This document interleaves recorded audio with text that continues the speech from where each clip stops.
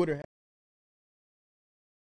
Twitter has this thing where they're like, I hate Afrobeat. And it's funny because you ask a lot of Nigerians up until the early 2000s, all they had on their radio was nothing but hip hop and R&B. So the reason why Burna Boy is actually working the space and why people are able to digest it more, he's literally taking samples that he heard growing up, the music he heard growing up, and recreating those and putting it on Afrobeat records. But you know they have an issue with that, right? Because he said we didn't have any culture. He said black Americans didn't have any culture. And then he turned around and sampled all of our music. And then wearing fake Tims. How you gonna say we don't have no culture and then mimic our culture? because we letting it happen. If I'm black in America, I'm not going to none of his stuff until he apologizes. Because I've grew up around Africans, and they'll tell you in a minute how Americans have none of this. What the fuck am I supposed to do then? It's a room full of black African Americans. What the hell are we supposed to do then? Just not exist? Nah, we the sauce. We went through the hell, and we the sauce now. That y'all are coming over here using our shit. I'm all about peace and love, but I hate when I'm around Africans and they try to downplay our black mm-hmm. Americans. We had no choice. The people that you raised you sold us to some people that fucked us over. Stop that dumb shit.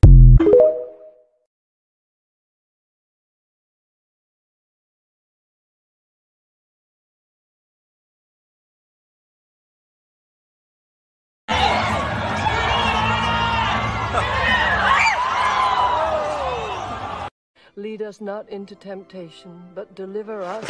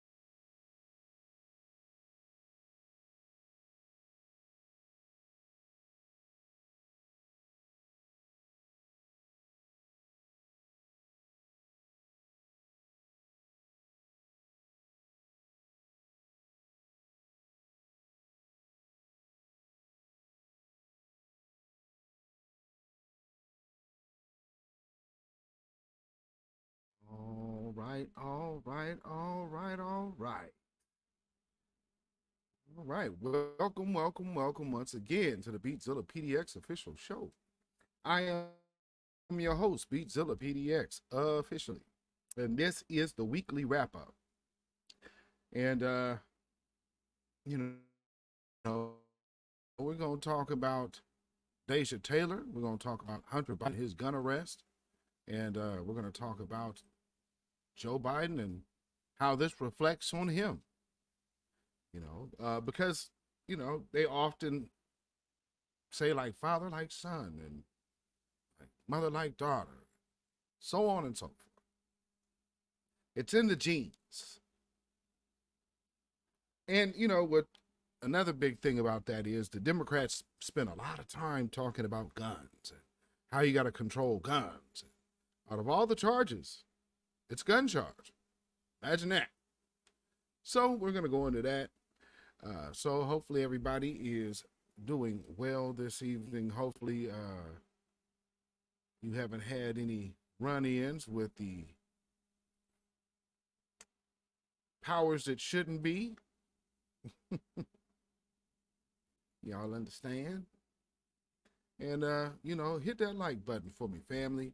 If you could hit the like button, share this on uh, your social media or share this on your or text this to somebody, email this to somebody, uh, and you know, let them know about this this channel and this broadcast, the Beatzilla PDX official show, and uh, you know, let's let's grow this channel. You know what I'm saying? You know how things uh, get stifled out in these YouTube streets. So we have to just bring attention to what we're talking about and there's a lot of attention. Uh, there's a lot of attention on my Twitter page, uh, but and that's again, you know, that's uh, that's a Shillapalooza thing, I believe, because again, I think we called it right as we often do. that's why we are the new black media, and calling it right, you know, letting you know that they were going to have to go after uh, icon. and that's something that has been uh, happening an awful lot by immigrant tethers. These these black immigrants come over here and then start reading a few books, get a few uh, crackpot college courses, and then they believe they fully are aware of our history. So then they address us who lived it and tell us things that they learned as if it's a fact. So, first, you know, one thing that I did not do, because I came straight in, and you know what we forgot to do? We forgot to open the show the right way. So, we just gonna do that right now. This is the weekly up.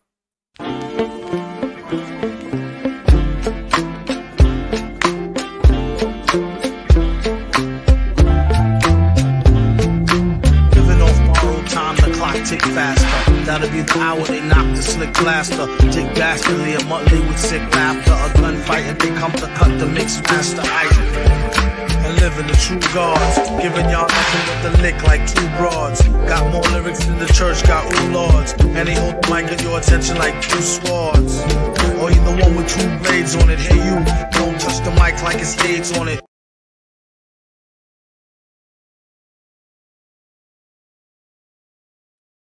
All right.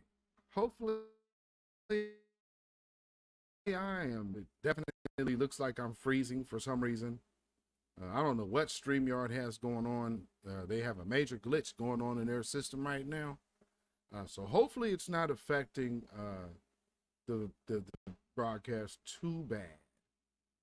But it is janky, family. Let me tell you. Um, man, you know, it, it would probably work a lot better too if StreamYard actually had a StreamYard app. That would help out a ton. And it would uh probably could make a lot more things seamless that way. Just a thought, StreamYard.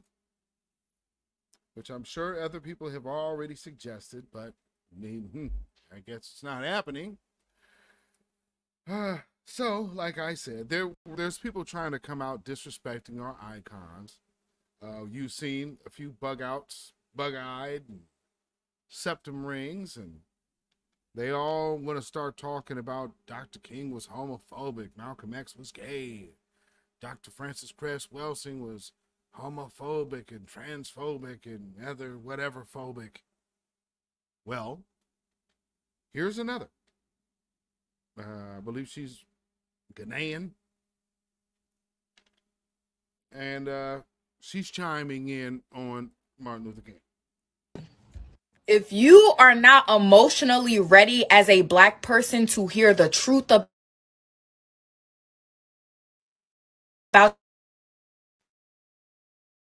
your history, please scroll past this because this is not for you. So, for those of you that don't know, Martin Luther King is a civil rights leader, and he's pretty much known for the reason why black people and white people can be in the same space. Or in other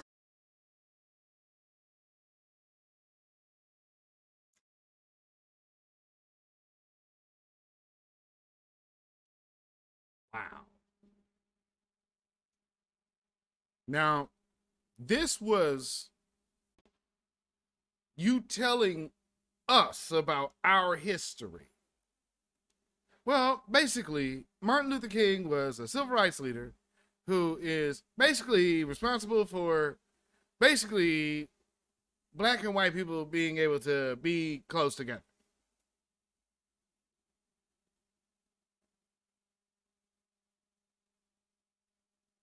No. The March on Washington was a lot more than that. It was about, and a lot of these marches were about finance for our community, for our lineage, for our plight here in America, long before your people came here. So, yeah. Not to mention, he is one among many civil rights leaders. It was a coalition, shall we say, of leaders, black leaders with the same common goal. So, see, the coalition that happened that got something done then was all in house. Foundational Black American Coalition. Coalition. And so that's how these things got done. It wasn't just one person. You see one person as a figurehead, a face, and a voice. But there's not just him by himself, him alone. That wouldn't make any sense. That's too big of a movement for one person to just be the brainchild of. That makes no sense. Stop it. words, integration. Alrighty, so I'm just gonna dive right in here. Um, Martin Luther King had a white girlfriend before he married his first wife, Coretta Scott King. And at the time, as a black man, you could not even be seen out on a date with a white woman or you would get killed. So this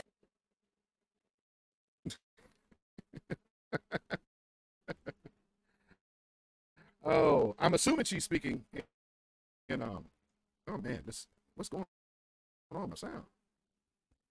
Oh man, this is horrible. Now it sounds like I'm on a helicopter. Hold on. All right. So had to had some technical difficulties, so we had to go ahead and cut the camera because um, I don't know what the hell just kept happening. But we are going to move on on with the broadcast off camera, and it's all good. So anyway, going back to this person here that thinks they should be speaking on our icons, which is loud and wrong. Let's let's go take a listen. Black person to hear the truth about your history.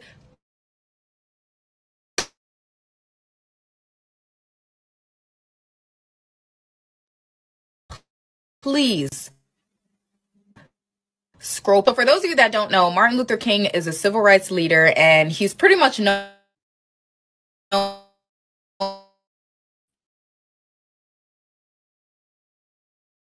known for the reason why black people and white people can be in the same space. Or in other words, integration. Alrighty, so I'm just gonna dive right in here. Um,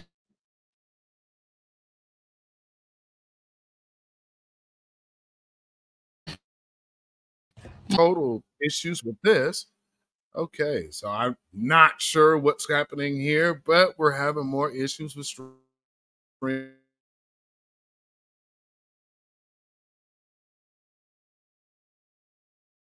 StreamYard. And we're going to try to attempt to get through this broadcast so we don't have to uh, put something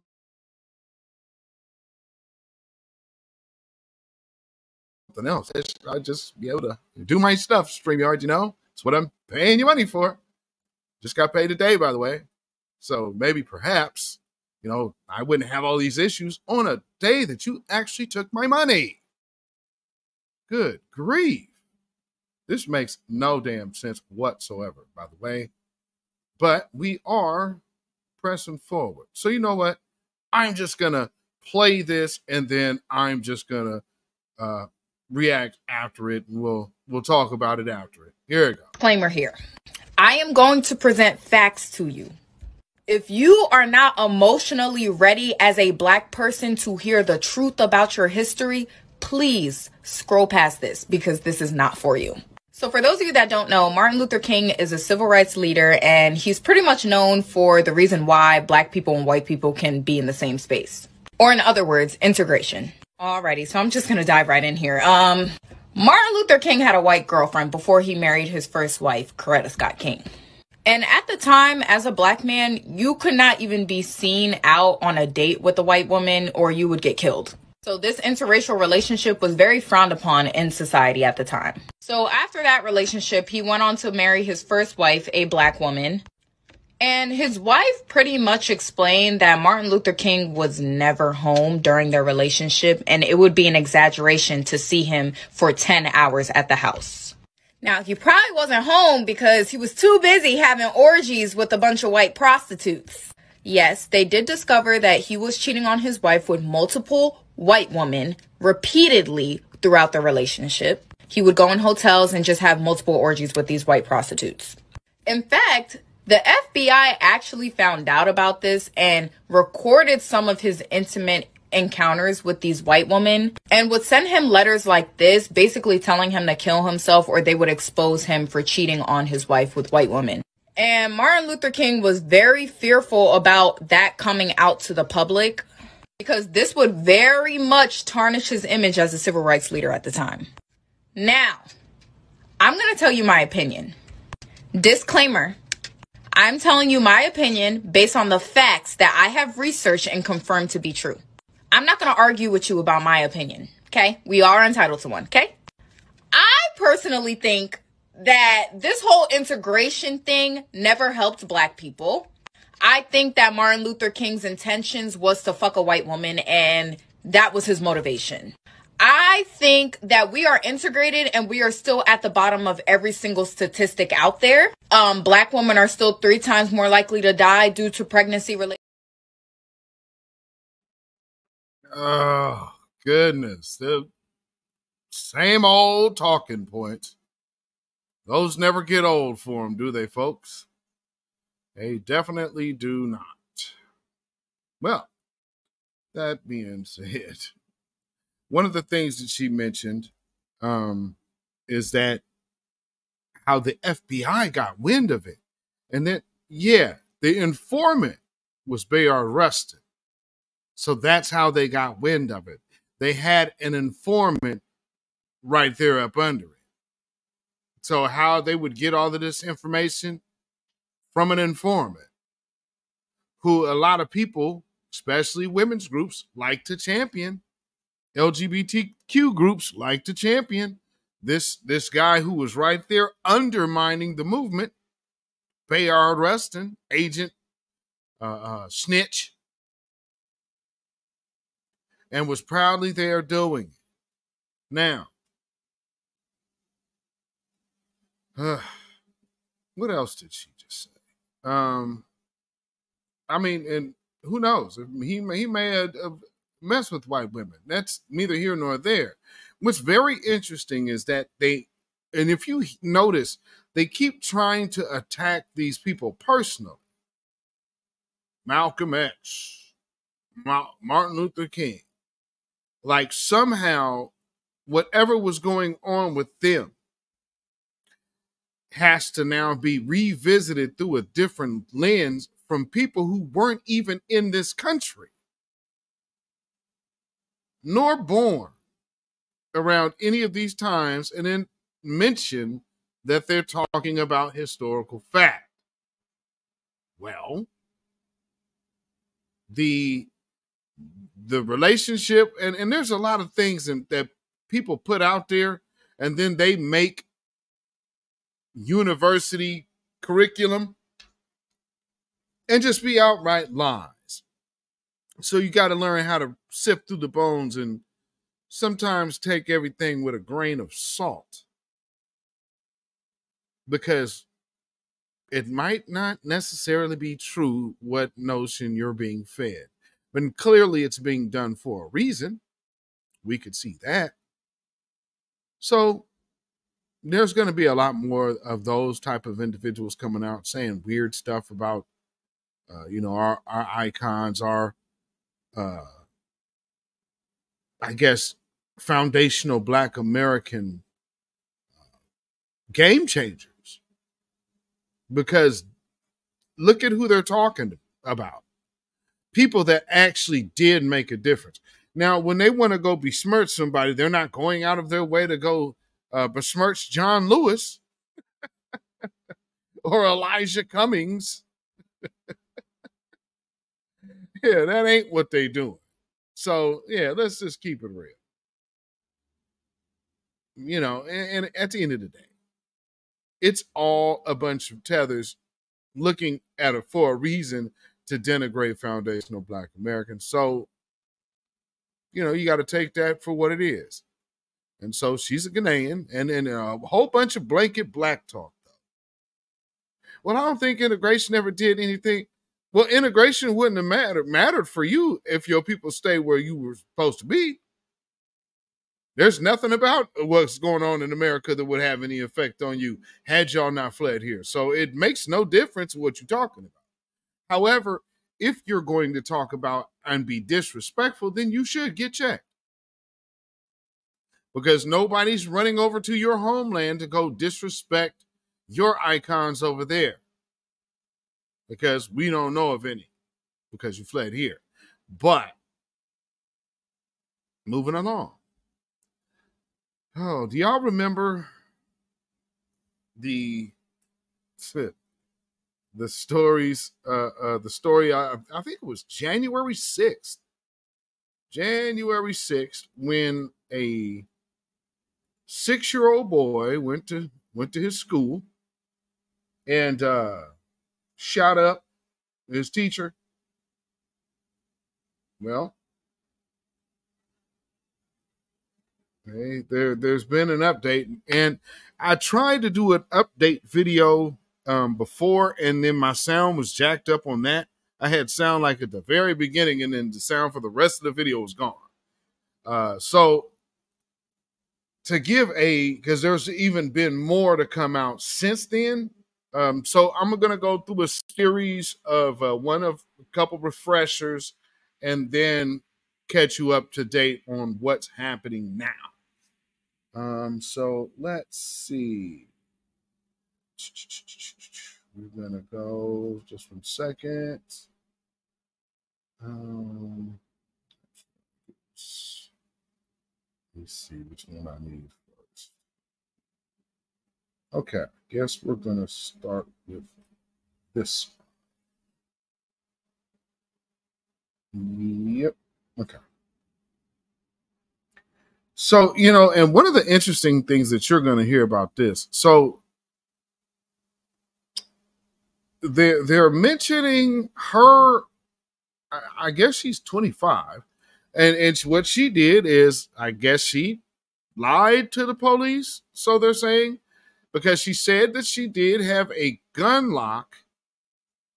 Um, she said she kept her gun on her kitchen, on top of the refrigerator with with a gun lock on it, and then the key for the gun lock was under her mattress. Well, when they say when the police, I guess, investigated it and, and went and searched her house, um, which that part was kind of interesting. But when they went and searched her house, they didn't find uh, a gun lock or a key. So, and that's the words of the police. Who knows?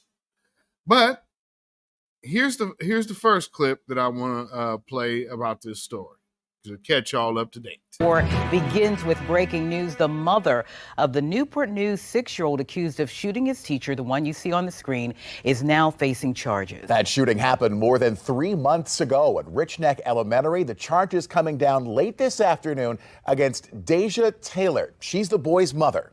NBC reporter Kelsey Jones is live at the courthouse for us. Kelsey, tell us about these charges that she's facing.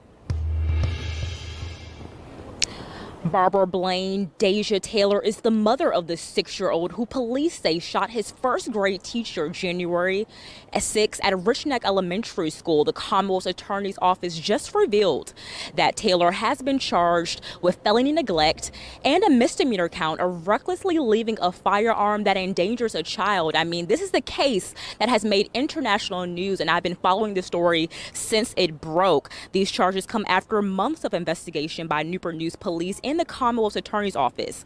Howard Gwynn, the Commonwealth's attorney, said they have determined that the quote, facts in the law support these charges against the Rich Neck mother for her two offenses. Meanwhile, there's more.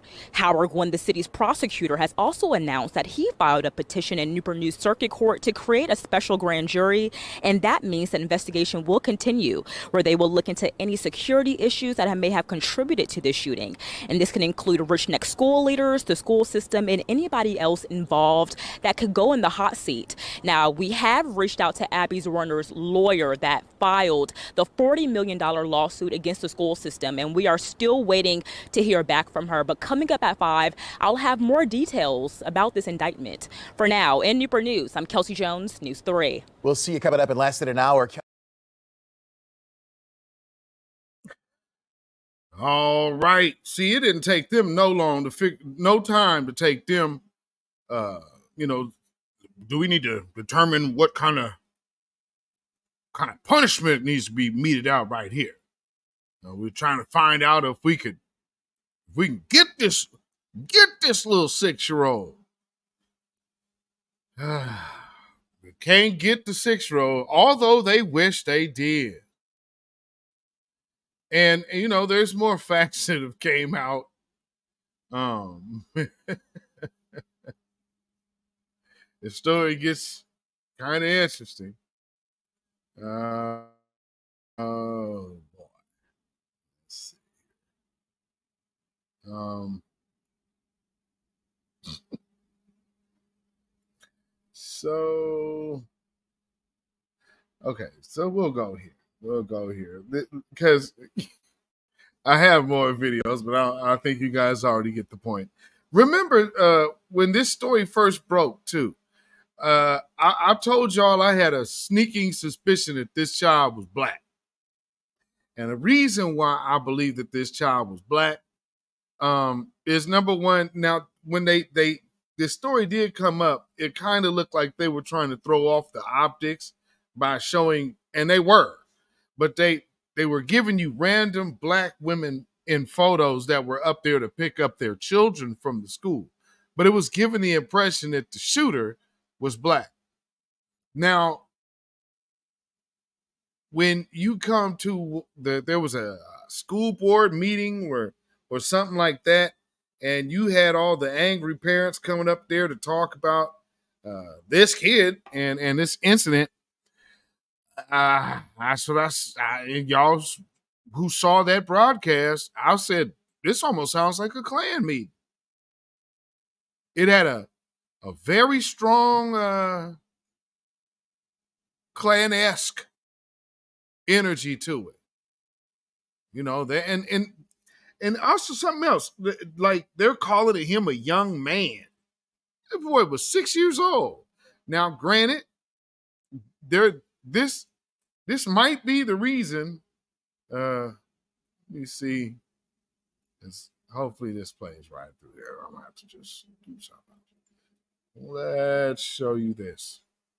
Covered in court documents today, and it reveals disturbing information surrounding the six year old accused of shooting his teacher at Rich Neck Elementary School in Newport News. Tonight, your side, Stephanie Hudson is in our newsroom with the latest details this midday. Stephanie?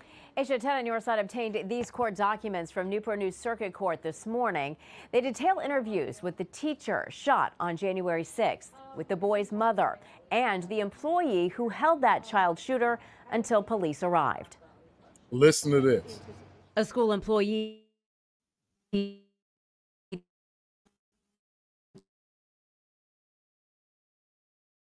told detectives the child admitted to shooting his teacher, Abby Zwerner, using profanity, saying, I shot that bee dead, and I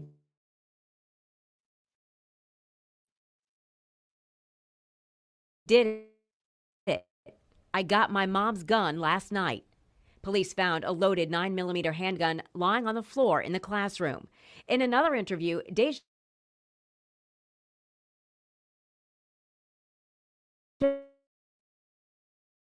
Taylor's mother told detectives she believed the gun was in her purse with a trigger lock on top of her bedroom dresser the morning of the shooting, and that the key for the lock was kept under her mattress.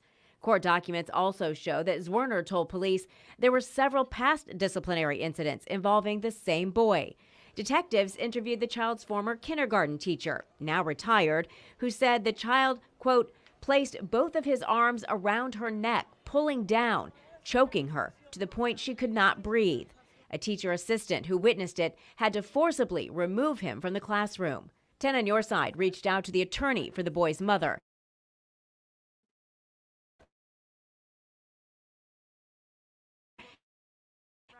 James Ellenson told me the child, he's obviously got a lot of issues and he's in therapy. We're all pulling for his continued improvement. Taylor is due back in court for a plea hearing next week. Abby Zwerner is suing Newport News Public Schools for $40 million. In the newsroom, Stephanie Hudson, 10 on your side. oh, wait a minute. Is that kid smoking with cigarettes? Hold on. Yeah, I, I believe that uh, that that little young man was uh, or young brother was smoking with cigarettes. And I mean, you know, that happens from time to time. You get these bad kids, behavioral issues at a very young age, and, and it happens.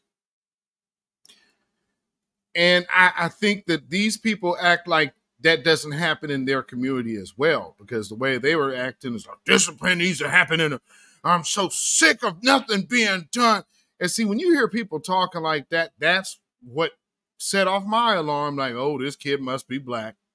Because they're they're saying all of the things that they want to always say about all black people, but they have a situation where this white woman was harmed, so we have to do something and have to say something, make a statement to the world that this is not going to be taken lying down.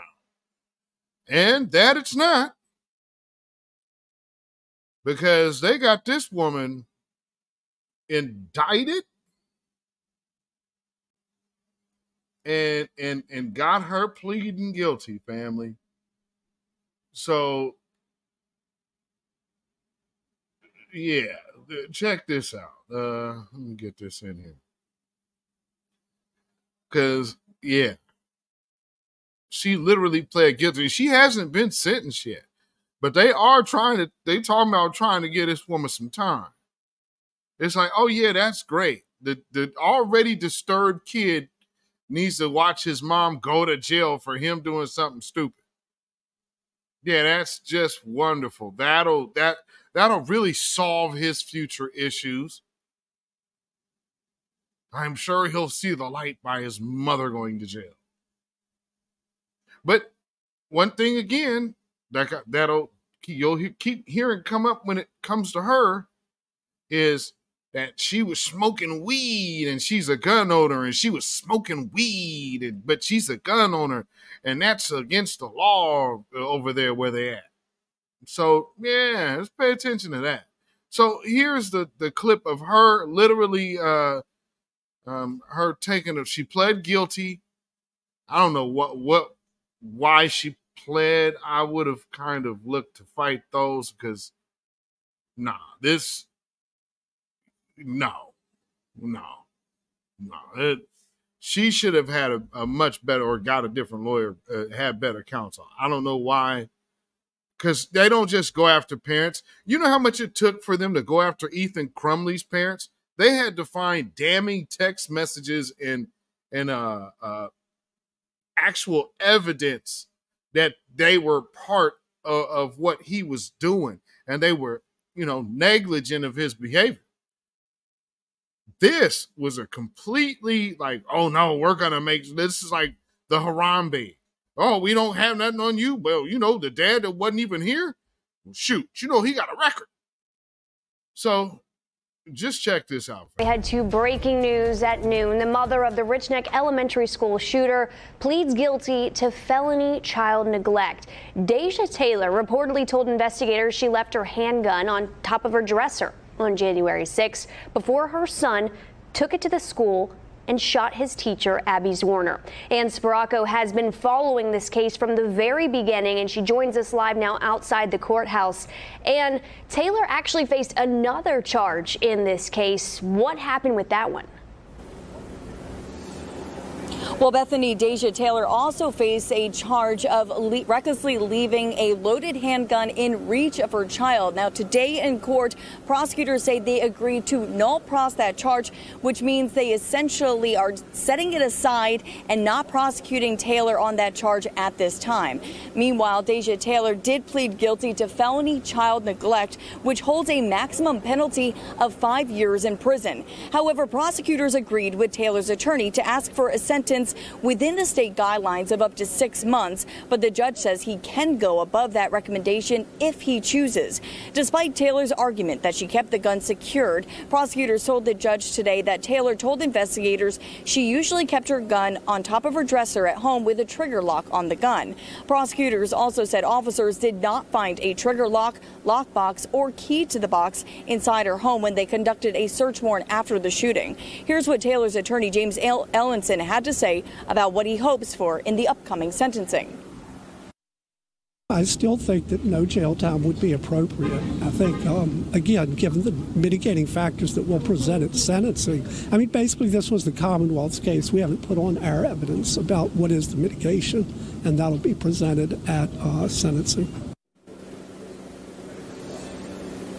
And Abby Zwerner's attorney sent us a statement in response to this latest guilty plea, saying in part, quote, as the criminal probe widens, our focus remains on justice for Abby and holding the school system accountable. Tonight on 13 News Now at 4, we learn more about what prosecutors say the boy told detectives the night of the shooting and how he said he got a hold of his mother's handgun. Live in Newport News, I'm Ann Sparacco for 13 News Now. And thank you. Now, Deja Taylor also did plead guilty to federal charges of lying on her gun permit paperwork that she used marijuana at the time of her purchase. She faces approximately 18 months to two years in prison on those charges. now, she lied on her gun application to saying she smoked weed. You smoke weed and you lied about it Now, oh, Mr. Hunter Biden up here, because they keep talking about how that is a federal law. You mean a federal gun law? Well, then, how much more would a crackhead like Hunter Biden have issues with guns? And now he has gun charges.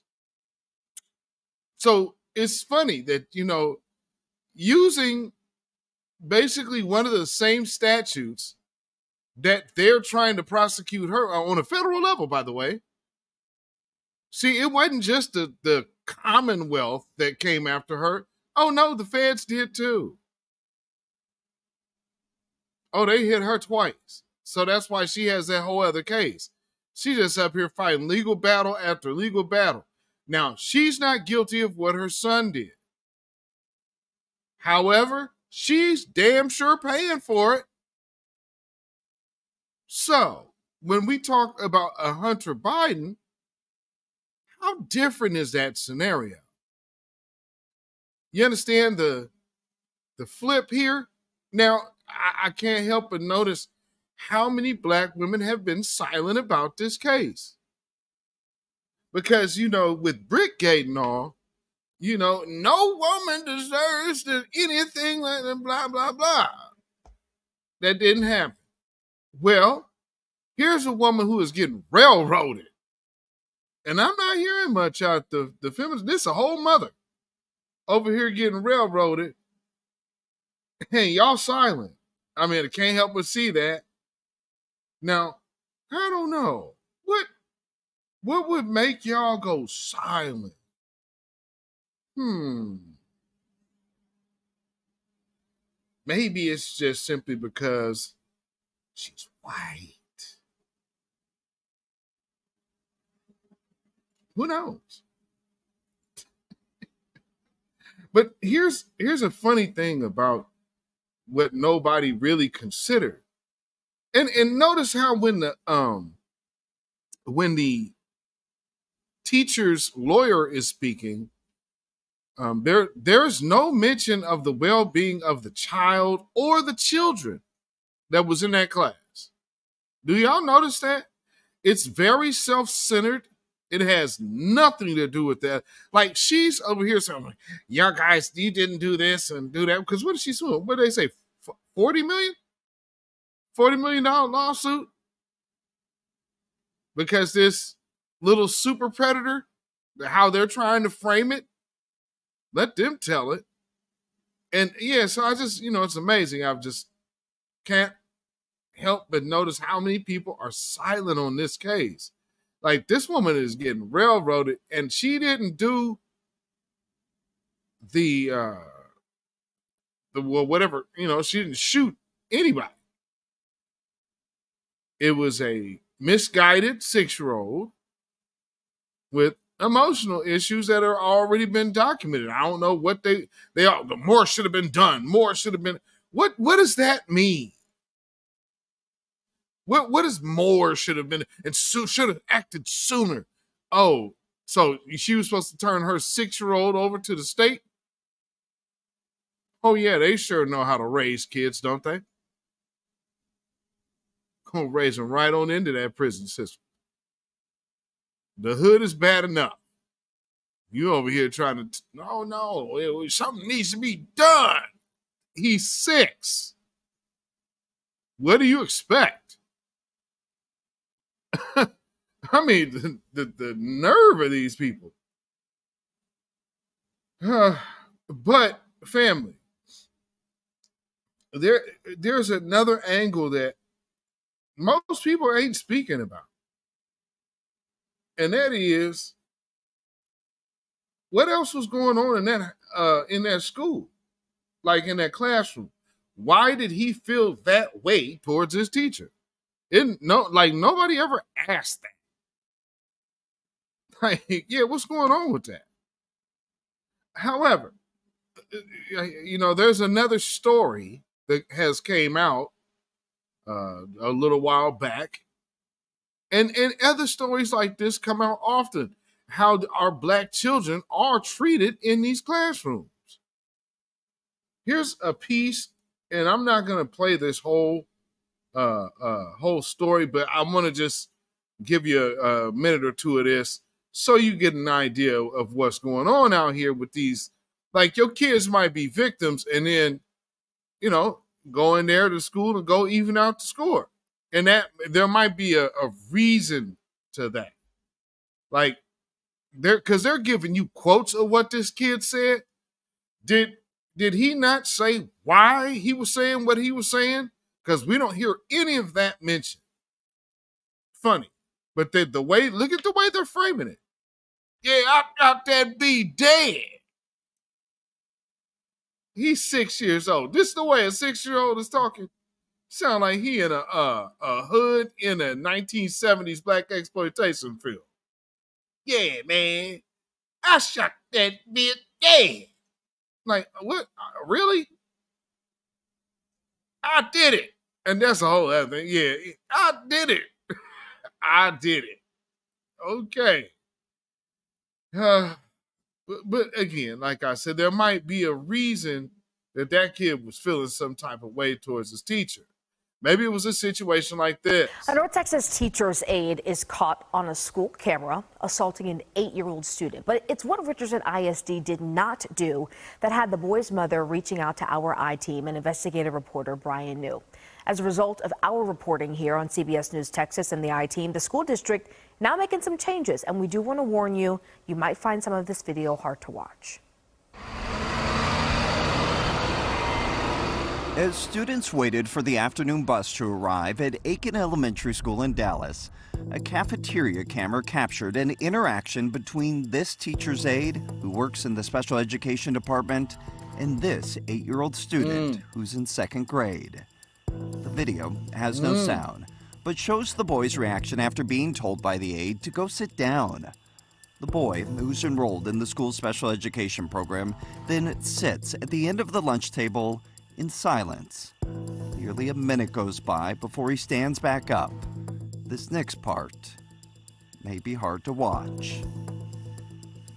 The boy's mother wants people to see this. According to the police report, the teacher's Wow. aide was upset because the boy was using profane language and yelling out racial slurs towards her. When Brittany Wood finally saw the video of her son, I did not expect to see what I saw. She says it was heartbreaking. It was really, really hard to watch because my child was completely helpless.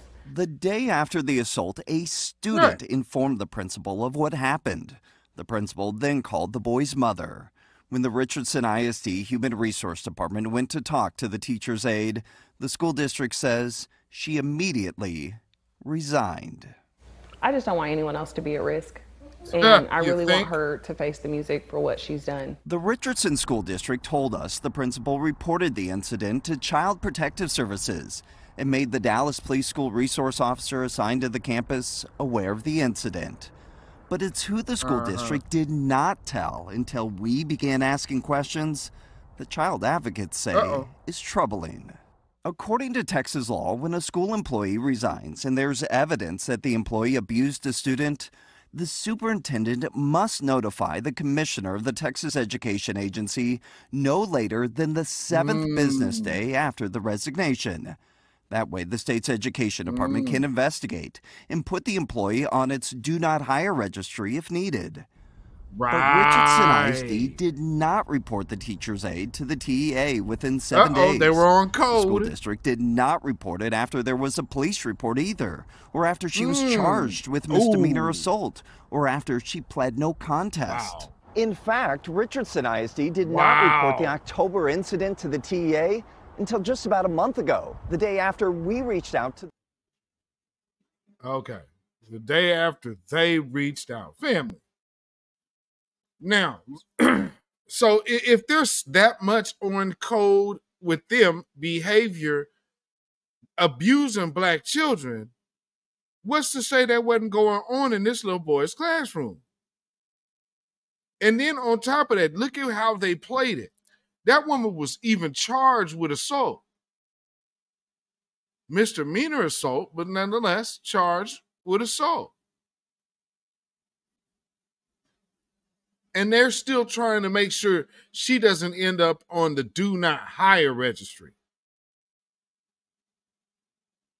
So she can go choke a whole little boy and uh they just like, eh, you know, that's just one of them. So yeah, that that's another thing when you get out here start talking all this little this black man thing, and black men ain't this, black men ain't that. Remember, you got little black boys out here, and you got people out there that do not need to sit up here and feel like, oh well, I could just go ahead and abuse this kid because, you know, black women don't think they should either. No, that is horrible. Nonetheless, getting to the root of the matter,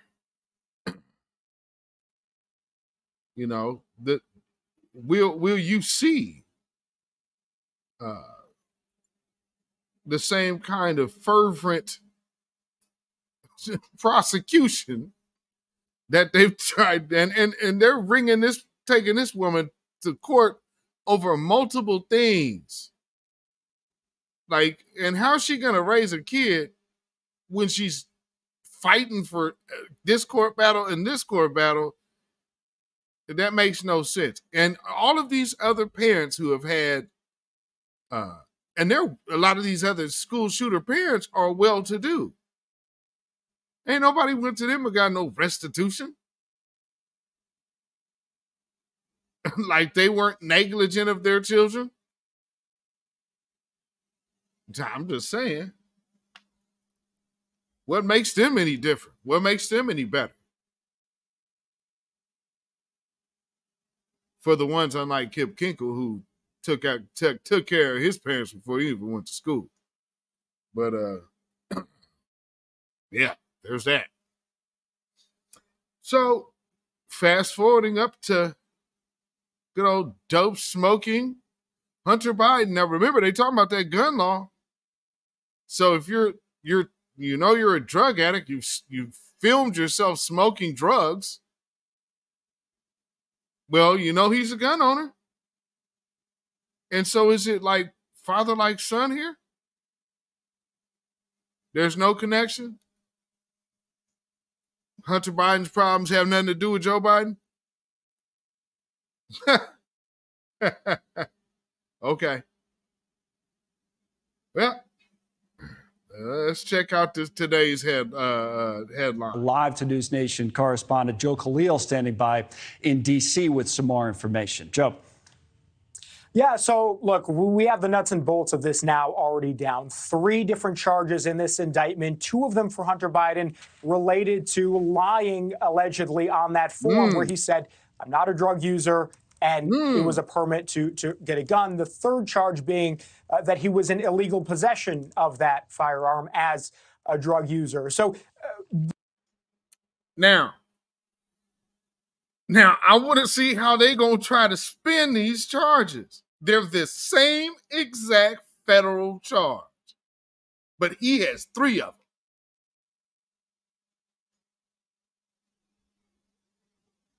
He got three of them. And he was on weed and crack and some. And you know he is because you got the video evidence.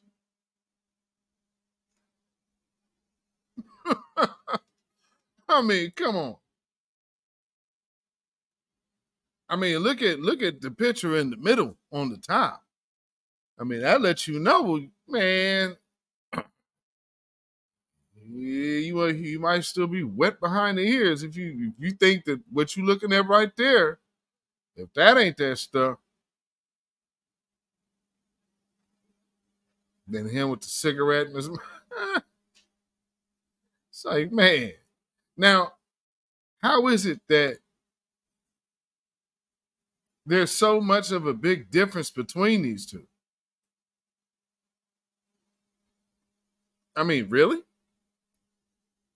Anyway. The reason that the plea deal originally fell apart and the reason we are here today was in part because both sides of this simply couldn't agree on what their plea deal meant for the future moving forward for Hunter Biden. There were concerns that, as we see now, House Republicans continuing to do these investigations on Capitol Hill into the Biden family, into Hunter Biden, uh, there were concerns that moving forward, even if he agreed to this plea deal, there were going to be future potential charges as a result of these investigations. And mm. they simply wanted to get him some level of immunity. It seemed that uh-uh. Hunter Biden's lawyers, last we had actually checked in with them, thought this deal meant one thing. The prosecutors in this case from the DOJ thought it meant another thing. That's why the judge threw this out. So let's talk about the politics uh, of this now for a minute. This is going to be a major headache for the White House, certainly. Uh, you know, they thought that this Hunter Biden situation was going to be behind them legally, uh-huh. certainly not uh-huh. politically, but legally. If that plea deal had gone through back in July, it was at least one thing that they didn't have to worry about uh, and maybe ask question, you know, answer questions for. No longer the case. If this indictment ultimately ends up being a trial, this is going to continue mm. to be a thorn in the side of The White House press team, they will continue to get questions about it. Democrats on Capitol Hill, I imagine the same thing, again, as Republicans continue to push forward. Now, the thing we're not talking about here is the other uh, allegations against Hunter Biden, which are the Uh-oh. tax crimes that he is also alleged to have committed. Remember, in that plea deal, Correct. it was going to be those that he was going to admit guilt for, which was that he Right. didn't pay uh, hundreds of thousands of dollars in taxes uh, on income that he was making from his foreign business dealings. We don't know what's going to happen with that. Potentially. You know, that's a great point. Uh, with the foreign business dealings, with a lot of that having to do with Ukrainian uh, uh, elites. Talk about return on an investment. you could rebuild Ukraine a few times over with the with the type of funding that they're getting from America. However, it's not as much of a pushback. There's lightweight, low vibration pushback from the so-called patriot patriot uh, sector. You know, lightweight, and truth be told, also very lightweight on the uh, illegal invasion at the border. They're not as vocal as you would think they would be. They're not as we're going to protect this and at all costs and we're going to hold the line and yeah yeah none of that's happening right now. All that january 6th and ain't happening at the border. Just pretty interesting though. But you know what does this mean for him? And it, you you seeing how yeah the the charges that he has are the same charges that they just made this woman plead to. Now, obviously, they had an agreement. Now we're seeing that you know there's a lot more corrupt corrupt uh, stuff going on in this White House than than meets the eye. Not that you didn't know, but I mean, you I guess you you we all speculated. Well, here's some of that proof. And like I just can't get over when I heard about the charge. I'm like, well, wait a minute, ain't that the same thing they're trying to do to this sister? And so now, how does the judge in this case sentence her? Because, like I said, she's yet to be sentenced.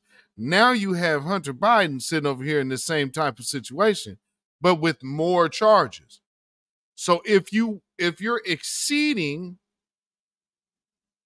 then in federal court, doesn't that set a precedent? Because she that's you know, that what are we talking about? Oh well, let me let's take that back. This particular the these charges, um, well, no, no, that's right. No, the gun charges. So that's what she's facing 18 months just on that charge alone. Yeah, she's facing 18 months on that charge alone. Ain't that something to be said? So that's a little different. So yeah, I, I want to know what what is the difference because all of uh, what we're gonna hear, and you know how much we just saw Kamala Harris doing the the hip hop pander uh, tether palooza at her house, which was absolutely crazy. And then she gives her speech, as you guys saw.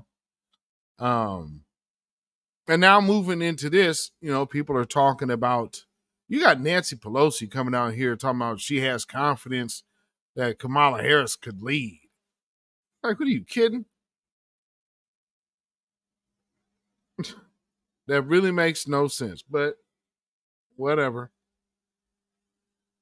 No, I don't think she could. She can't get through a, a, a interview without flim flamming.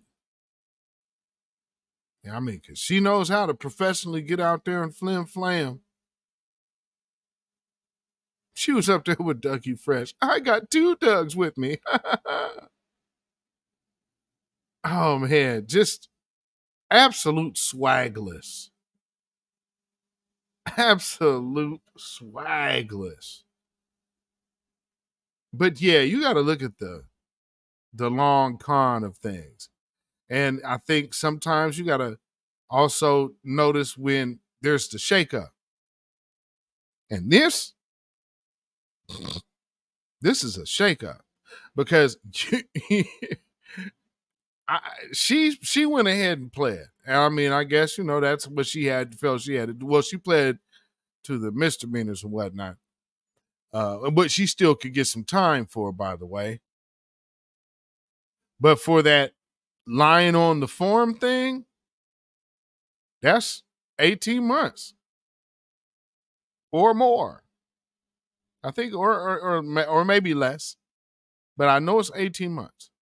So and that's federal time. So 18 months is going to be 18 months. Yeah. Yeah, you that's important. So this is how important it was to make sure that they found they could they knew they couldn't punish the 6-year-old. So they're doing all of this to this this mother. And so she got charges in Fed, she got charges in state. I mean, it, it's all bad. It's all bad. Nothing cool about that. Nothing cool about that. In the meantime, Hunter Biden, he got these charges. And they was going to take a plea deal from him. And I'm I, it's very interesting that that plea deal uh didn't happen because there's this whole situation over here. That's how it's, it's going to be very interesting just to watch how, and also just peep the tone and the nature of how the media addresses this situation. Because I wonder how optimistic people will start talking about Hunter Biden doing some time. And then the other thing about it is, as well, with the Joe Biden part. You know, this is, I mean, this is a, uh, what do they say, uh, apple from the same tree, chipped from the same block. I don't think it's the other way around. I mean, it's a safe bet. So you have uh, uh, clearly diminished cognitive function functioning elderly man then you have a imposter fraud fake black acting vice president who is completely there because black people are convinced that she's black when she's clearly not but nonetheless and and you have a like albatross of a of a gun toting crack smoking son right there front and center and, and then gonna tell us if we are confused about voting for him or trump then we ain't black mm, mm, mm, mm all that standing up for the black community. Family, you need to go watch some of his older videos, uh, older like C-SPANs when he's talking about like crack and and the effects. Man, have you ever seen one of these? These guys are man, they're like they're, they're like maniac. Yeah. I don't want anybody out here to hit my grandma or hit my mom in the head while she's trying to carry her groceries in. I mean, this is the type of stuff that Joe Biden would say. I mean, yeah, this. I mean, shoot, I guess if you catch him off the cuff, he'll probably will still say some stuff like that because Joe Biden is so old, he doesn't mind just saying stuff that he shouldn't. Not only that, oh, you know, that's my, I might get in trouble for saying this. I mean, he up there with a whole handlers making sure he don't go off.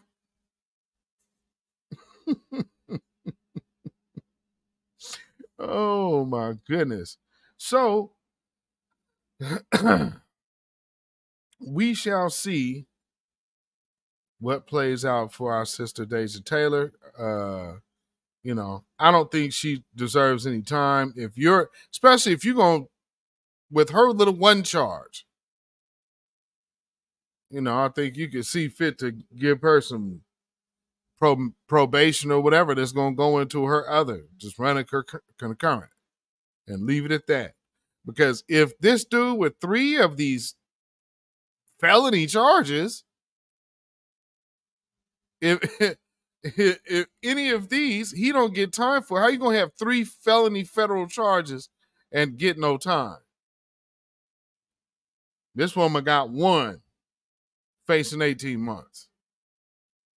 I'm just saying. So, and so also speaking of charged, um, yeah, there's some news. There is some news. And, and speaking of charged, you know, Mr. Mr. Uh, I'm not gonna defund the police. I'm gonna fund the police. Well, some of them, some of them officers are crooked officers. Former Memphis cops charged in the death of Tyre Nichols have been booked in federal court. They turned themselves in today, and their new charges include using excessive force, failing to intervene, showing deliberate indifference, and conspiring to witness tamper, as well as obstructing justice. Now, Stephen Pimpo was at the federal courthouse downtown today. We can probably guess how those officers uh, pleaded today, Stephen. Richard Pepper, all those four officers pleaded not guilty, and they're out on bond tonight but with conditions dictating where they can go, what they can do, and even who they can talk to. Tadarrius Bean and attorney John Perry Jr. had no comment after the ex Memphis police officer made his first appearance in federal court. Bean mm. was joined by fellow ex officers Desmond oh. Mills, Demetrius Haley, and Justin Smith. Come on, man. Now, now, now, where y'all trying to tell me he from? Where are y'all trying to say he's from? Come on now. Where are y'all? Get a superstar. Where's your family from? One time. I mean, a family. Uh, yeah. That hairline say it all, don't it? That hairline say it all. Yeah. I think this brother is from uh Haiti. Ex officers Desmond Mills, Dimitri Emmett Martin. Eh. Eh. Everybody's like, I don't know. They all from uh, down there. Yeah. Yeah. I don't think so, man. I, I think these people might, you know, might, might have a little something else in them. Yeah, I I, I don't know about these cats. I mean, I ain't gonna say all of them non-FBA, but I mean, man, look, first off, on the right, look at the hairlines. And then over there on the left, uh, is this dude, this Smith, like, is he, is this family even from America? So, eh, okay. Haley and Justin Smith all facing several new federal charges in the death of Tyre Nichols. We were expecting this. We knew it was coming. We didn't know exactly when. All four pled not guilty and were released on a $50,000 unsecured wow. bond with conditions. Those include avoiding contact with each other, turning in their passports, not traveling outside the Western District of Tennessee, with exceptions made for the two living in Mississippi, and they aren't allowed to have a gun or even ammunition All very standard, uh, reasonable. My client, Mr. Mills, none of these guys are going anywhere. They've uh, shown up for state court. There's no reason to, to do anything other than release them at this point. Breaking any of these rules will result in a $50,000 fine. Desmond Mills attorney Blake Ballin says it will be a balancing act as they navigate both state and federal court cases. We uh, all are fighting on two fronts now, um, so I, I, don't know, and we also won't know anything about the federal schedule for uh, for a while. Um, although they told us to come back September 21st. The fifth former officer Emmett Martin is scheduled to appear tomorrow. We had planned for him to come in on Thursday, and other hmm. plans were made, and so some went in today and some are going in tomorrow. Both attorneys I spoke with say their clients continue to take these charges very seriously. It's especially hey, scary better. and uncomfortable for uh, somebody who dedicated his life to, to being a law enforcement officer and now finds himself on the other side of things. Well, the fifth officer. Yeah. Yeah. When when you beat somebody to death. Yeah, that's kind of what happens. And you know, again, the disregard for foundational black American life is is prevalent within police culture. Because, you know, that is when being a black police officer, that is the true definition of blue no matter who. That is the true definition of blue, no matter who. If they are a black cop, you could pay they pay they skin color, no mind. Pay they lineage, no mind. Charged Emmett Martin will surrender tomorrow. The other four officers have their next court date next week. Richard Pepper. Stephen, thank you. Well, Hmm. Don't say. Wow. Ain't something?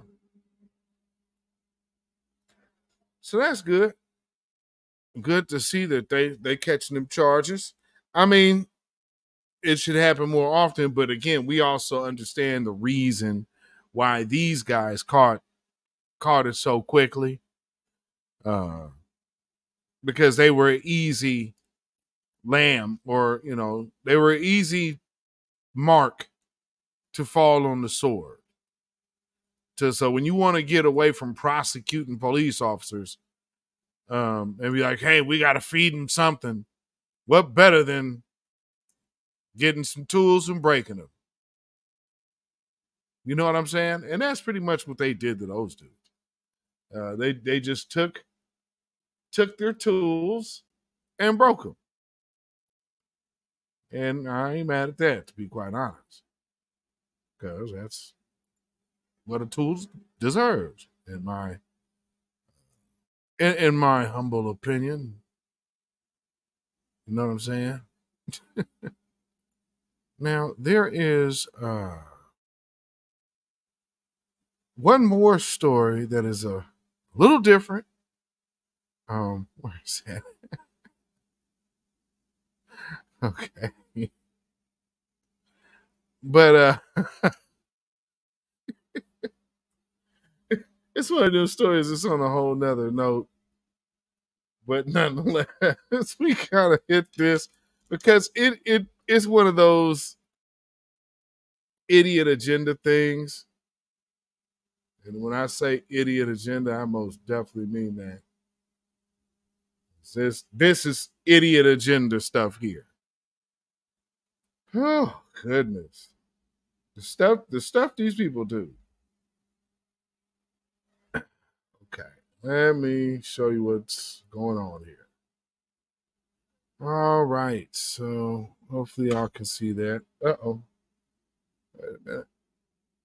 Now, well, let me bring this. Sorry. All right. So y'all see what's going on here. Dove partners with Black Lives Matter activists accused of wrongly getting white student expelled to promote, quote, fat liberation. Uh, you see who that is. Melissa Koenig. Beauty giant Dove has partnered with a Black Lives Matter activist to promote fat liberation after she was accused of wrongfully getting a white student expelled from her university over a mis a misheard remark. Zyahna Bryant, a community organizer and student activist studying to, at the University of Virginia, made an announcement she was a Dove ambassador on her Instagram page at the end of August uh, as she spoke about her goal of ending the stigma of being overweight. What is the stigma? You, you're either overweight or you're not.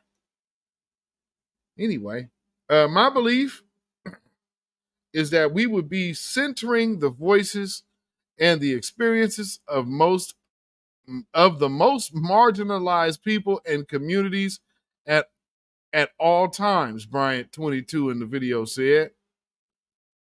Oh wow. Being overweight? Okay. Oh jeez okay so when i think about what fat liberation looks like to me I think about centering the voices of those who've lived in and who maneuver through spaces and institutions in a fat body. The caption of uh the caps the captioned her video by saying uh fat liberation is something we should all be talking about. Tell us what fat liberation means to to you using the hashtag size freedom and tagging Dove to share your story. All right. Support this campaign. All right. That's okay. I mean, everybody need to use some Dove. I heard, you know, a lot of, a lot of people like that Dove. All right. Zyahna Bryant announced on Instagram she is patterning or partnering with Dove to support fat liberation. Uh, let's see. But even though Bryant has been praised for her work with Black Lives Matter and getting the Robert E. Lee statue taken down in Charlottesville, she has also come under fire in recent months for her efforts to get a white student named Morgan Bettinger suspended from campus. She claims Betting, Bettinger, um, I guess that's the name, Bettinger, referred to Black Lives protesters as good speed bumps in the summer of 2020, only to later admit she may have misheard her. You know, I vaguely remember that. Um, I remember that story. Oh, okay. So now I know who this person is now. All right. Um let's see. The incident began in July 2020 when betting Bettinger mistakenly drove down a street where Black Lives Matters protesters had gathered. Uh-huh. She told Reason magazine she saw a dump truck partially block the road, but because the street was not completely blocked off, she continued driving. When she realized the road was actually being blocked off from traffic, Bettinger said she decided to park her car and decided to see what was going on. As she passed by, Bettinger said the truck the truck driver began talking to her and the two had a brief conversation. Uh-huh. So there's the I guess that's the Instagram post. Yeah, it's Instagram post. Okay, so going on with the story. Uh, let's see. He said everyone should be talking about fat liberation, the idea of ending the stigmatism being of being overweight. Uh, Bettinger says she remembered telling the truck driver something along the lines of, "It's a good thing that you were here because otherwise these people would have been speed bumps." trying to praise his efforts to block traffic.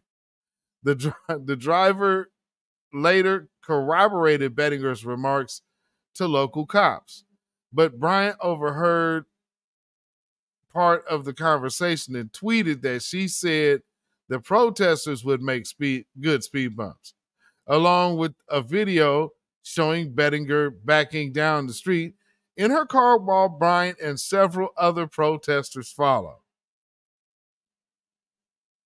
Ah. Uh-huh. And so that's what's going on right there. Right. Hmm. Morgan Bettinger was accosted by Black Lives Matter protesters. Okay. I just, you know, so so point of reference, Black Lives Matter protesters. A bunch of uh, white LGBTQ women and a man. Because there's no black people around. But anyway, um.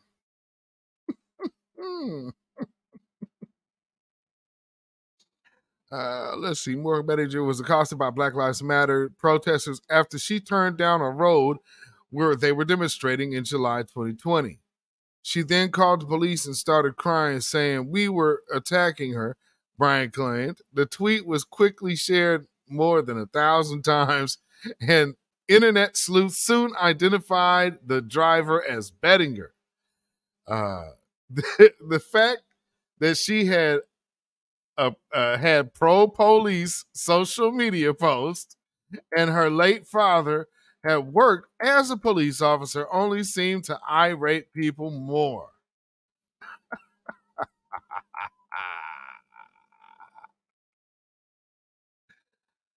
uh, I, I'm now. Now maybe I'm. I don't know. The whole story about her talking to the the, the driver and oh well they would have been speed bumps by who you still? Because i mean i'm confused. If you realize that people were still in the street oh because he was blocking it. So if you just went around the truck and it, oh yeah there's people there.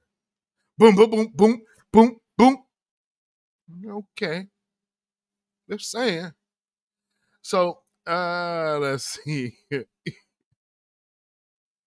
um okay, Internet sleuth soon identified the driver as Morgan Bettinger, and Bryant demanded she be expelled from the University of Virginia. Just one day later, Bryant began demanding that the school administrators expel Bettinger. Email the UVA deans now to demand that Morgan face consequences for her actions and that UVA stop graduating racists. Bryant herself filed a complaint with the University Judiciary Committee, a student run disciplinary system, alleging Bettinger, Bettinger had threatened students' health and safety. Hmm. It found Bettinger guilty of making a legitimate threat against the protesters, despite being unable to prove Bryant's claims about her intentions. The jurors ruled that even saying the words in harmless in a harmless manner during a protest merited punishment according to the documents obtained by Reason magazine. Bryant also filed a complaint with the school's Office for Equal Opportunity and Civil Rights in which she claimed Bettinger repeated the statement 5 times and had discriminated against her due to due to her race. Now, okay, now now that now that story is taking a great turn because they're saying, oh well, you tried to get her fired by mishearing something. Well, if this this last part, well, somebody's lying. So so I'm I'm confused. Hmm. Yeah, some somebody's not telling the truth here. The EOCR office found that three of the five accusations could not be corroborated, and a report found Bryant most likely did not hear Bettinger's comments firsthand after no eyewitnesses were able to corroborate her version of events. Bettinger eventually graduated from UVA, but with a permanent mark on her record. Reason reported likely hindering her chances of getting into law school as as she had dreamed. Okay. This whole situation had a huge impact on my life. And let's see, the university has never had to answer for what their actions have done. Bettinger is now said to be considering bringing a lawsuit against school officials seeking to get her record cleared. Huh.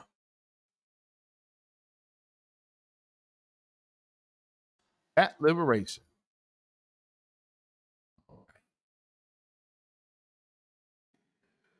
Whew, fat liberation. But that just sounds ridiculous. I mean, truth be told, you just look hot and stuffy, ma'am. I'm sorry.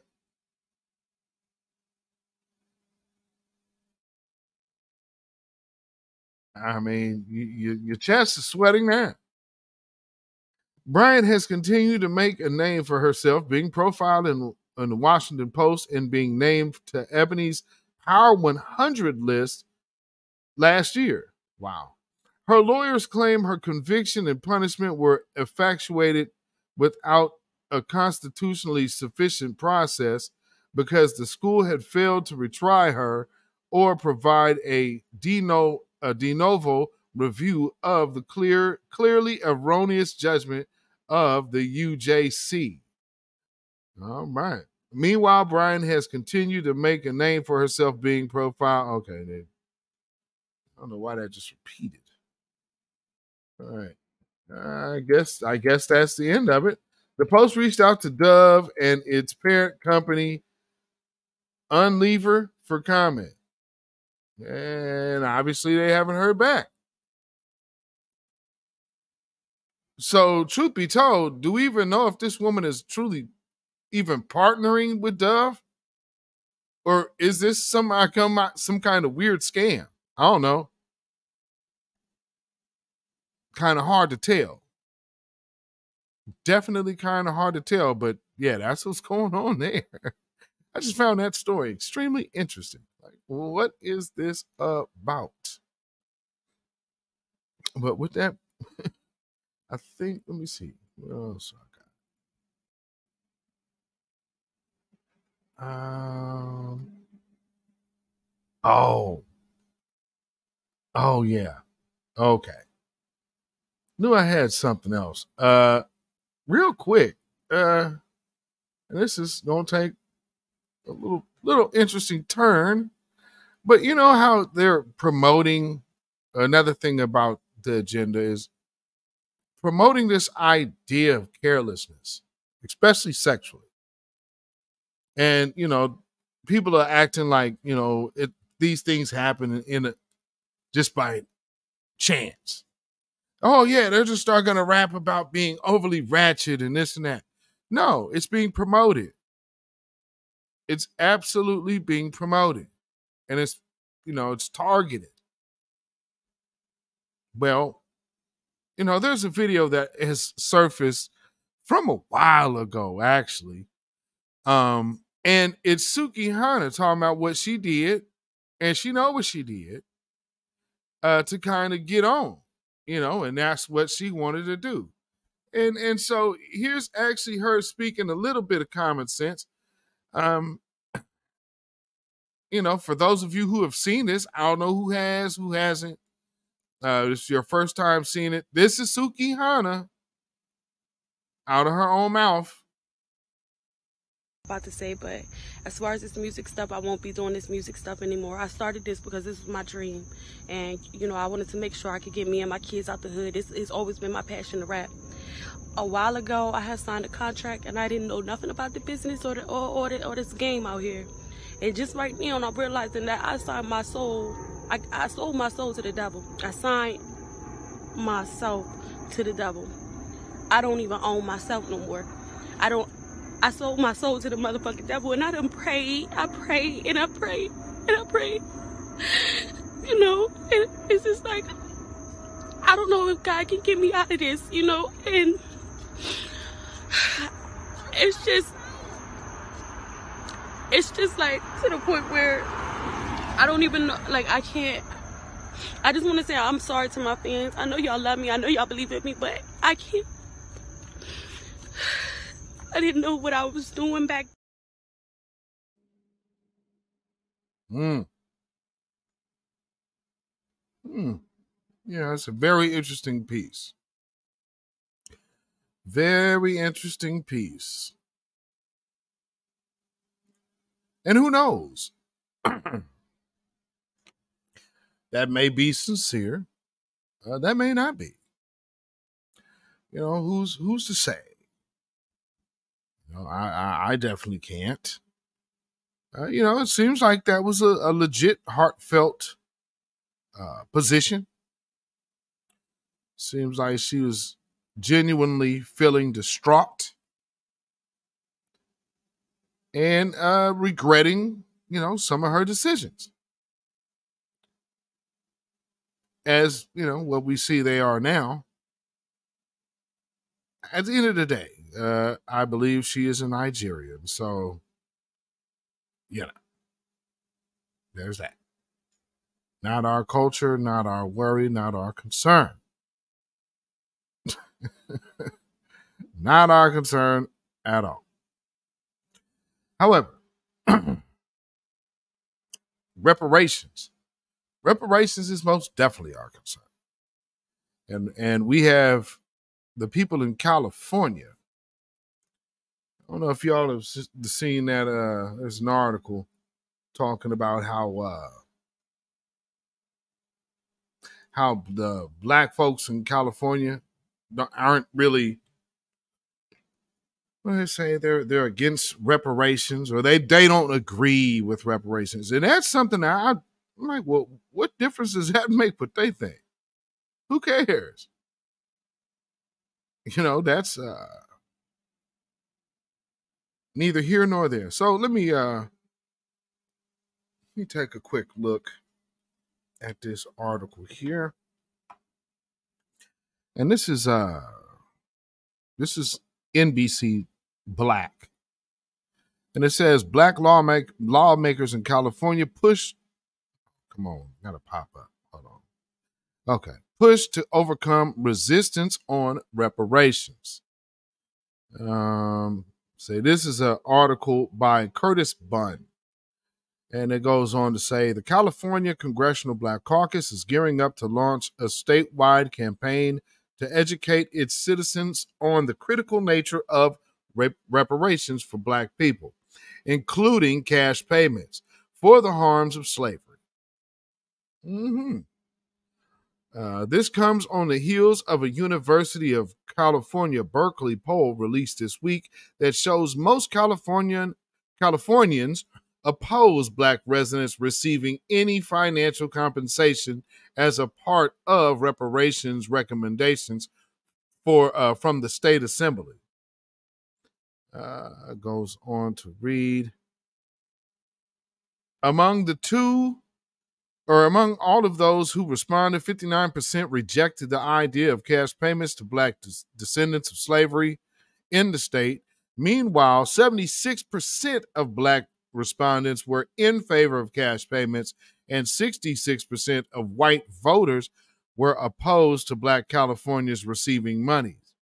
Democrats are more likely to support cash reparations than Republicans, and those with no party affiliation who strongly oppose. Uh, Reginald Jones, Reginald Jones Sawyer, a member of the reparations task force, said the results show a lack of knowledge around California's deep involvement in slavery and other forms of racism that devastated black families. I don't know about that, brother. Um, polls can be skewed because usually enough information isn't given to the people. Um, and that's I, I can agree with that. Uh, let's see. So so that they don't give a get a uh, full understanding of what's going on if each individual that they polled had had read that a 400 document four uh, 400 page document we had last year which proved how California was complicit in chattel slavery and read the uh, the 1100 page document that printed that we printed out this year which talked about the reparations or what reparations should be there's absolutely no way you believe that there shouldn't be some type of compensation. To inform the public, Jones Sawyer said, California Black Caucus will begin a fundraising campaign to hire a firm to disseminate clear and concise and direct messaging about the report. Obviously, pe- most people didn't read the preliminary or final report by the task force. People now are trying to debunk those findings. Another hurdle will be educating members of the California Assembly who are expected to sponsor legislation based on the task force a or thousand page report published in June. The report covered a myriad of areas uh, and recommended more than a hundred statewide policies to address generations of discrimination and racial disparities. It did not, however, propose a dollar amount owed to people who are able to demonstrate that they are the descendants of either an enslaved African American in the United States or a free African American living in the United States prior to 1900. Jones Sawyer gave an example that he hopes will ring true, uh, true to assembly members and the general public. If you were to buy something and later on you find out that it was stolen property, you wouldn't keep that property. Uh, it depends on who you're talking to, brother. Uh, let's see. Well, the labor of African Americans was stolen for centuries, and now we're asking for us, for us to restore our dignity, restore what was taken from us, and any legal system would tell you that that this is uh, the appropriate measure that you should take. And I think any American, once they are educated, would understand why it is so important to have reparations. The lack of a dollar of a dollar figure, however, is a sticking point for many black people. Cathy Adams, president of the Oakland uh, African American Chamber of Commerce, drove to Sacramento for the final public hearing at the end of June. She said she left profoundly moved Listen to those families talk about how generational wealth was taken from them when they had land and property seized by white people for no good reason other than they wanted it or didn't want them to have it. Adams said, Good Lord, it broke my heart. Education about what has happened is critical. I've learned so much, and it reinforced for me the importance of cash reparations in addition to the programs in the report. But this is important. This isn't about Black people looking for a check, a handout. This is bigger than that. The harms of slavery are, are real.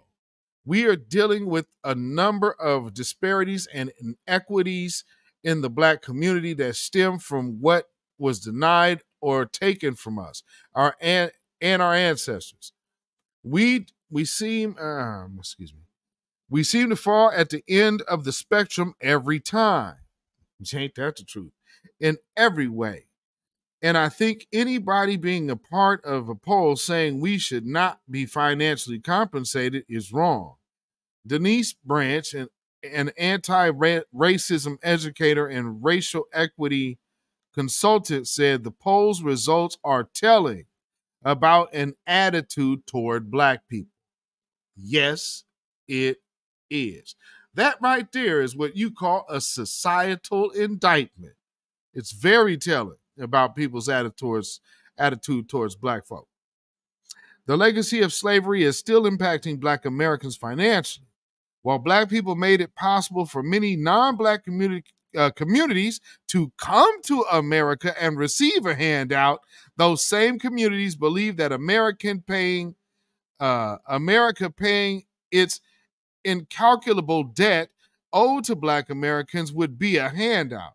White Americans believe they owed nothing because they believe themselves not to be their ancestors, but they are beneficiaries of financial privileges handed over to them by their ancestors having a clearer understanding of The history will make a difference. Um, the California Black Caucus plans to work with the legislature, which will not present its recommendations to government or Governor Gavin Newsom until early 2024. Between now and then, the caucus will solicit insight and ideas from the public to help influence those voting on reparations for Californians. Um, finishes up with saying some of the best ideas we ever got did not come from elected officials, did not come from academics, did not come from a bureaucrat, he said. It came from real people. And that's going to be the, uh, the thing that will get us over when we start talking to, to our fellow legislators about why this is so important and why they need to vote yes on it. We're going, we're not going to get them all, but we we don't need them all. We just need the majority in the assembly, and I think we have a good, clear path to that. Well, well, I, I'm I'm really glad about that response. That is dope. That was a good response. I'm have no problem with that at all. That was that was on it. That was on it. So yeah, shout out to them. And shout out shout out to all the task force uh, going out legitimately seeking to to do the right thing by foundational black Americans because it is about time. And so, hey, I, I, I cannot be mad at that. Uh, like I said again, shout out to the California Task Force.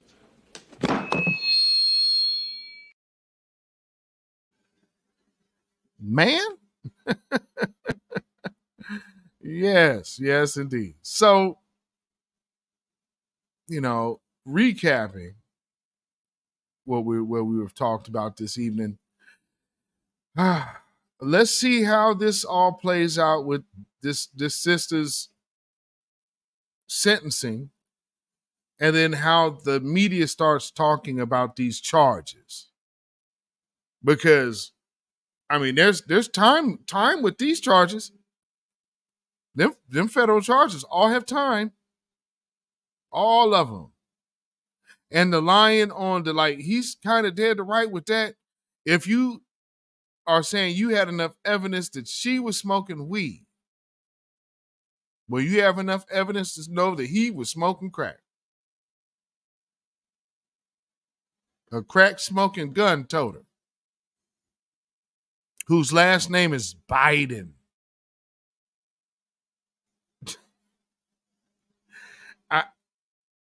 2024 is just looking disastrous.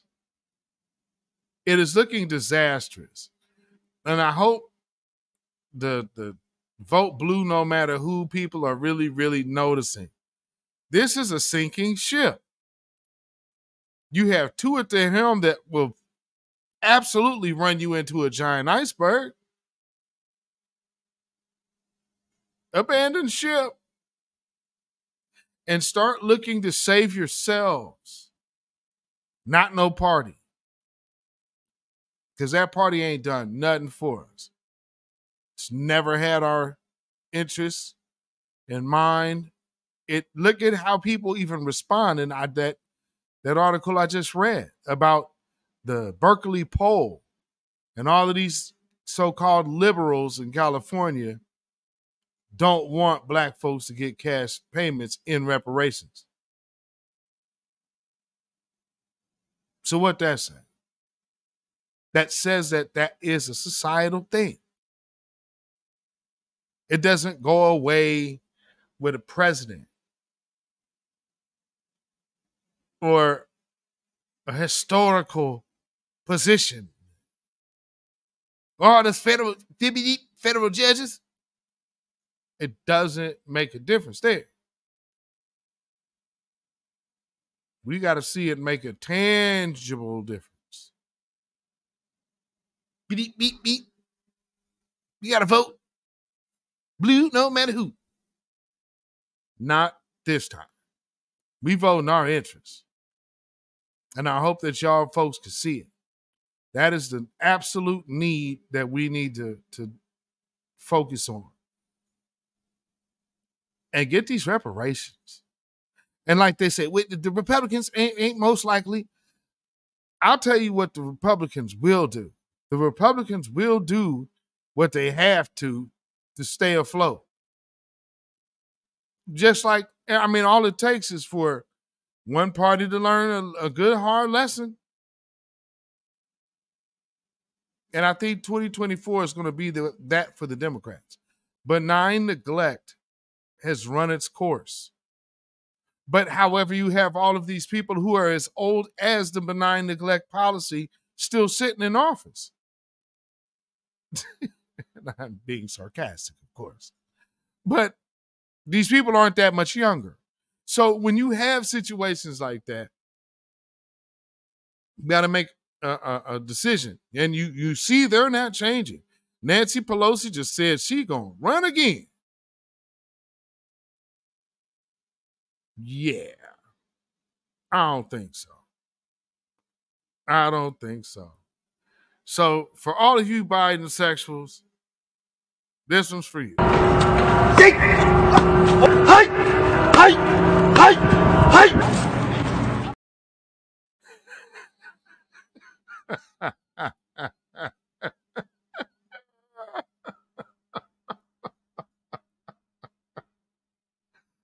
oh man.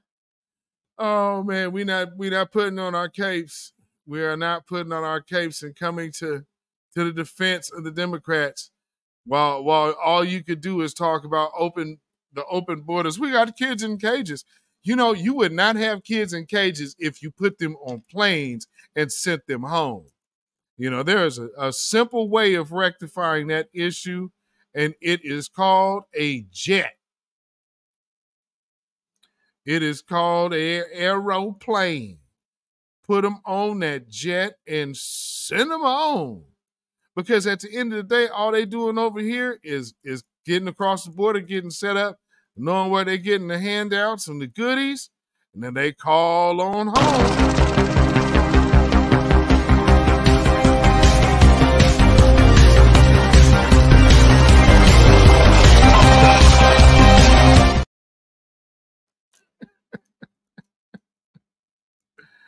So at the end of the day, y'all gonna have to to to make some decisions that, hey, we're not to crash in this car.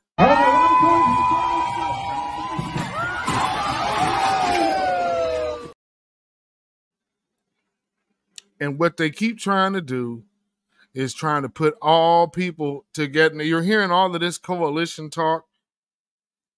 Nah, and again, oh well, Malcolm X, Malcolm X was a Pan Africanist. Um, uh, no, no, see, there's a difference in Pan African, and see, understanding the difference between having love for your brother from another mother, but knowing what your family is. See, like this. I think you're right there. We, I would not uh, limit our employment demands to Negroes.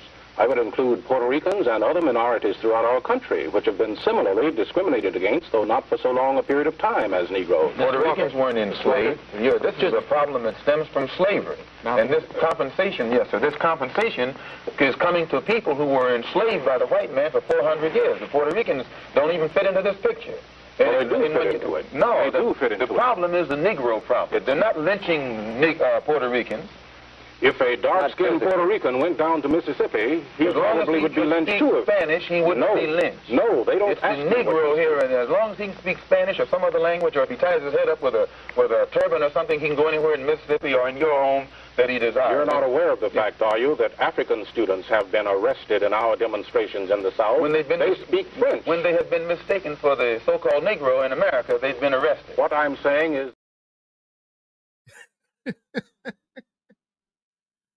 But what we need to do, see, brother, we need to push the coalition because, see, it's so divisive and it's so xenophobic if you don't want to let other people up on your on your progress.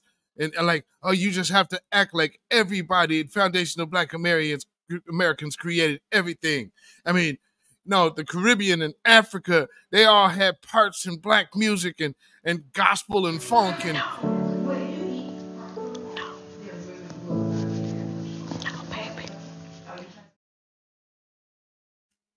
And all that is about trying to get their hands, they grubby little hands on the last story I just read reparations. They're trying to mesh themselves into us because we delineated so tough and made everything about lineage based that now they just have to lie about history. However, hashtag hands off our reparations. You have no rights here. We're not under the empire.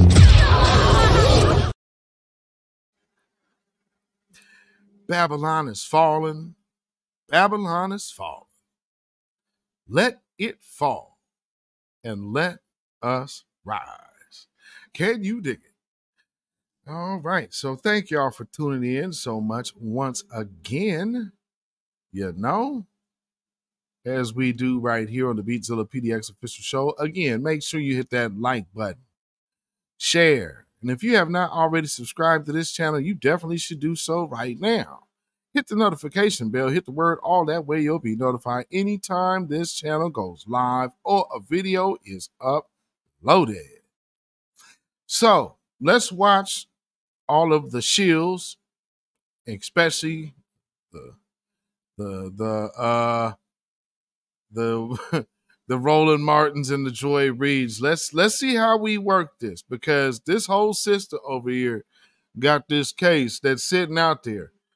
Um and she got this charge. And so you, you have a barometer of of how it was looked at when it was the six year old boy, and they tried to get and they ended up putting charges on this sister.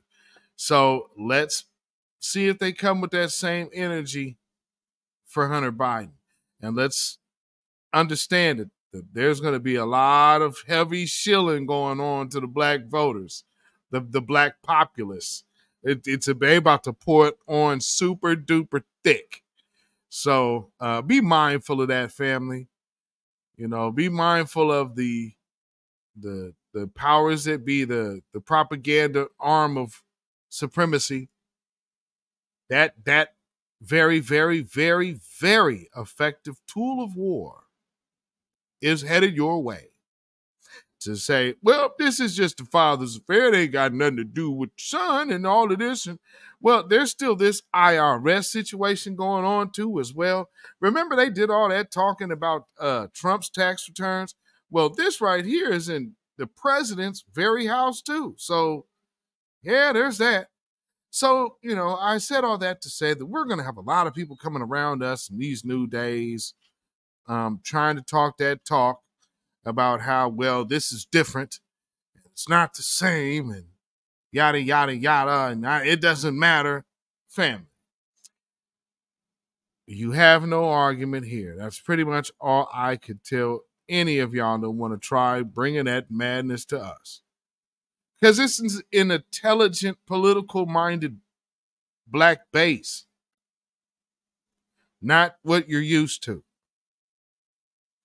So, you know, but we we do totally understand what you have to do. But we would have solidly advised you to to turn from your wicked ways and repent. But we know you won't but as a gesture of goodwill, I, myself, Beatzilla PDX official, those of us here at the Beatzilla PDX official show, the grassroots, you in the chat, and the voices of new black media. I think it's safe to say that, you know, when we throw you this this life raft, you should definitely take it because we proudly dedicate this song to you.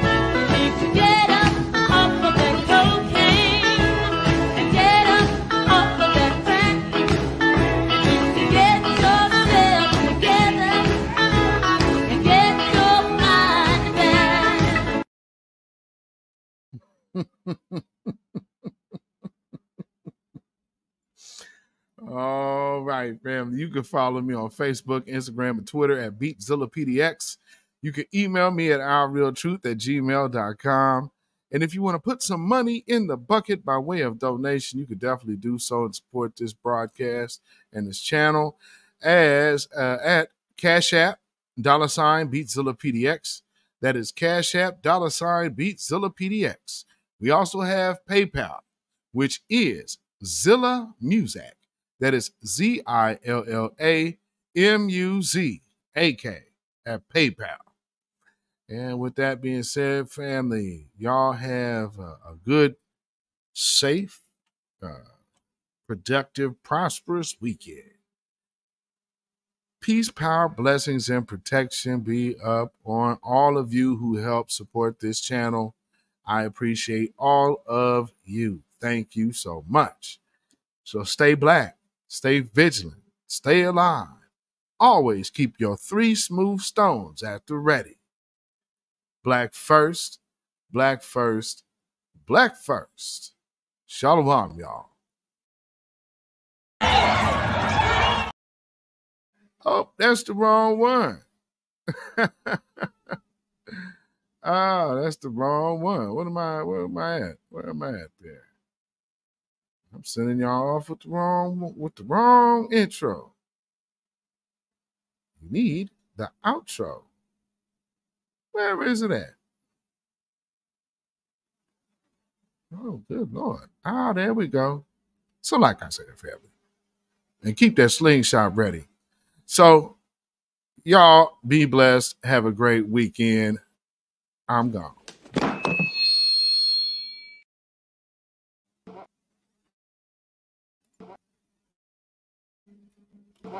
When you know who Satan is, Yes, sir. you don't have to kill him. No. The stone of truth. See, that's what you throw. Right, right. Allah says, had we wished to take a pastime from before, surely we would have done it. Nay, we cast truth at falsehood till we knock out its brains. Every one of you that knows the truth, stand up and tell it from the mountaintop. Black people can't take it no more. So wherever you are on the job, in the factory, I don't care where you are. If you know the truth, stand up on the truth and tell Satan, who the hell are you to try and pick my friends? Farrakhan is God's man. And you are from the enemy of God. So to hell with you. Stand up on it like a man.